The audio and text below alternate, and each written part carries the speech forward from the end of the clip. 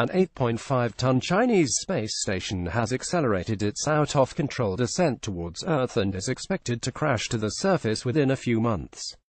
The Tiangong-1 a Heavenly Palace lab was launched in 2011 and described as a potent political symbol of China, part of an ambitious scientific push to turn China into a space superpower. It was used for both manned and unmanned missions and visited by China's first female astronaut, Liu Yang, in 2012. But in 2016, after months of speculation, Chinese officials confirmed they had lost control of the space station and it would crash to Earth in 2017 or 2018. China's space agency has since notified the UN that it expects Tiangong-1 to come down between October 2017 and April 2018.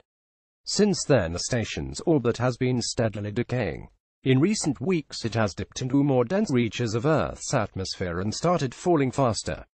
Now that its perigee is below 300 kilometers and it is in denser atmosphere, the rate of decay is getting higher, said Jonathan McDowell, a renowned astrophysicist from Harvard University and a space industry enthusiast.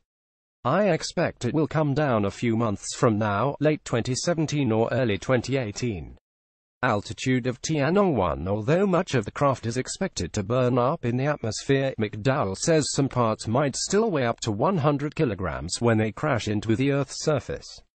The chance that anyone will be harmed by the debris is considered remote but China told the United Nations Committee on the Peaceful Uses of Outer Space in May that it would carefully monitor the craft's descent and inform the United Nations when it begins its final plunge. Predicting where it is going to come down would be impossible even in the days ahead of its landing, McDowell said. You really can't steer these things, he said in 2016. Even a couple of days before it re-enters we probably want no better than 6 or 7 hours plus or minus, when it's going to come down. Not knowing when it's going to come down translates as not knowing where it's going to come down.